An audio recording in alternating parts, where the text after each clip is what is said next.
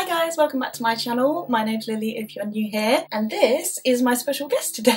if you can tell by the title, I'm doing a little meet my puppy video and he is an Italian Greyhound cross with a Whippet. He is 11 weeks old today, so getting to be a big boy now. he was so small when we first got him a few weeks ago, but he's grown so much already. Just do a little stand up. Probably can't really see him, but Obviously I'm going to have some clips at the end of him. He is very fidgety right now because he hasn't really been in, oh thank you, kisses. He hasn't really been in my bedroom properly. So this little guy's name is Dante and we chose it because he's an Italian Greyhound Cross so we wanted something that sounded Italian. Um, oh thank you for the cuddle! He is so cuddly, he honestly hasn't stopped, he loves chewing on my hair. He hasn't stopped cuddling us since he arrived really. Well, he was pretty scared on his first day. They call Italian Greyhounds Velcro dogs um, so they're always so attached to you. He loves coming to bring a toy to chew and just sits right on my lap and is quite happy and then just falls asleep. So we decided to go for him because Italian Greyhound was one of the breeds that we were looking at because of their nature and also because they're short haired so that's a plus. You're not going to get long hair shedding everywhere and we just loved that he was going to be small although because he is crossed with a whippet he's going to grow a little bit bigger than a normal Italian Greyhound would, but that's fine because we don't mind the in-between sort of size that you're gonna grow to. So a couple of things that I've learned about this sort of breed um, or Italian Greyhounds especially is that they can be super crazy. He has crazy half hours, actually crazy hours. So this little guy is so springy, he just bounces around and jumps up in the air like a little bouncy ball.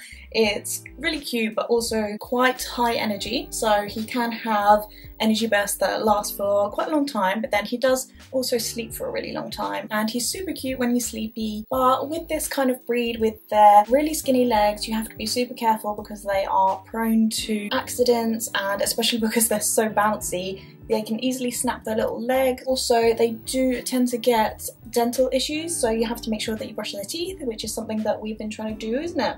He's decided he doesn't want to be held for the time being, he's just laid down behind me, but that gives me a chance to show you a couple of his favourite toys. First one is this really big, well, it's, it's big in comparison to him, it's like it was pretty much the same size as him when we first got him. But he loves playing tug of war with this one and I just think because it's super squishy for him to chew on and it's got a squeaker in it. So yeah, he loves that one. Also, this is another favourite one. It's just a chewy... He's digging on my bed.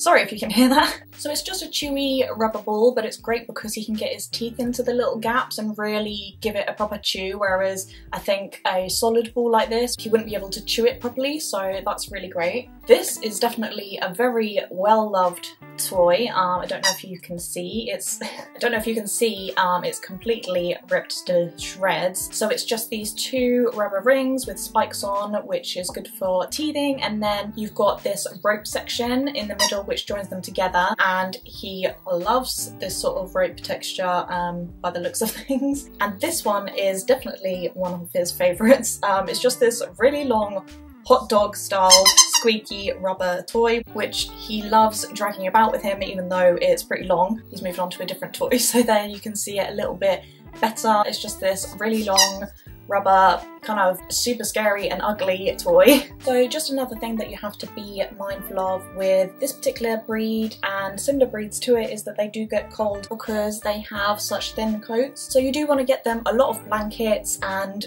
coats and jumpers just to keep them warm through the winter months. So, so far we have loved having this little guy as part of our family and we love him so much. I probably missed out a whole bunch of stuff but he wasn't going to let me hold him for too much longer so I'll go ahead and insert some cute footage here and hopefully you enjoy.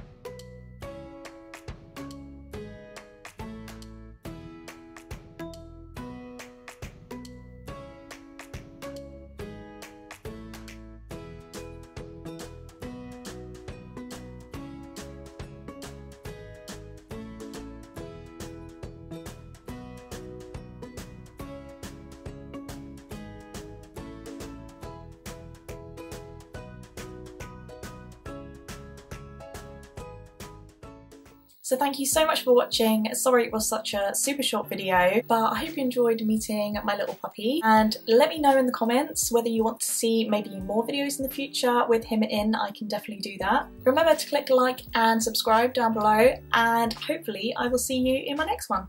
Bye!